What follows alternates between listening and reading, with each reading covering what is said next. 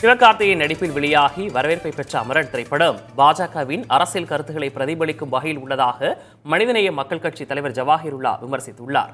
ஈரோட்டில் செய்தியாளர்களிடம் பேசிய அவர் காஷ்மீர் மக்களின் துயரத்தை எடுத்து வைக்க அமரன் திரைப்படம் தவறிவிட்டதாக கூறினார். அதாவது பாதுகாப்பு படையினரால் விசாரணைக்கென்று அழைத்து செல்லப்பட்ட தங்களுடைய கணவன்மார் எங்கே இருக்கிறார்? என்ன செய்கிறார் என்று எதுவுமே தெரியாத வகையில் வாழக்கூடியவர்கள் தான் ஆஃப் டேஸ் அவர்களுடைய துயரங்களை எல்லாம் எடுத்துரைக்க தவறிவிட்டது. ஒரு நுட்பமான முறையில் பிஜேபியினுடைய அரசியல் கருத்துக்களை பிரதிபலிக்கக்கூடிய வகையில் இந்த படம் எடுக்கப்பட்டிருக்கிறது. ஒருதலை பட்சமாக எடுக்கப்பட்டதின் காரணமாக அந்த படத்தை நாங்கள் எதிர்க்கிறோம்.